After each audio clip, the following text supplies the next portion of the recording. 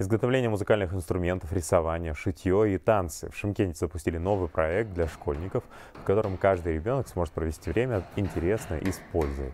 Творческие кружки организовали на базе одного из лицеев города. Теперь дети смогут бесплатно обучиться работе с деревом, шить национальные костюмы, осваивать изобретительное искусство. А делать они это будут с помощью фрезерных 3D-станков.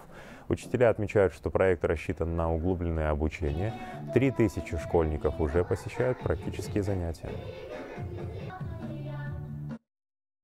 тәуелсіз мемлекеттер достығының ішінде Впервые в СНГ мы разработали государственный стандарт в области образования казахской школы с национальным колоритом. В настоящее время, когда технологии развиваются, наши дети осваивают не только технику, но и также искусство игры на домбре, изучают орнаменты, обычаи, традиции современным способом.